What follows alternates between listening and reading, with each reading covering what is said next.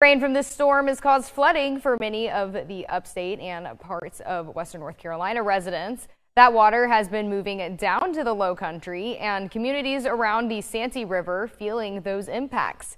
Officials in Georgetown County taking action to prevent major impacts. And this week, the State Department of Transportation closed several roads along low-lying areas like Powell Street, Harris Landing, and parts of Highway 17A.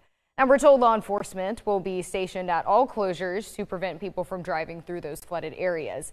River levels are expected to reach 23 feet and peak at 24 feet. This comes on Monday. Officials are encouraging people to double check road conditions before heading out the door. In the meantime, just ask people to, you know, be patient, exercise caution, uh, don't put yourself in a dangerous situation, um, and uh, just, you know, any guidance that, that comes out from uh, local officials, we ask that you adhere to that because it's with your, your safety in mind.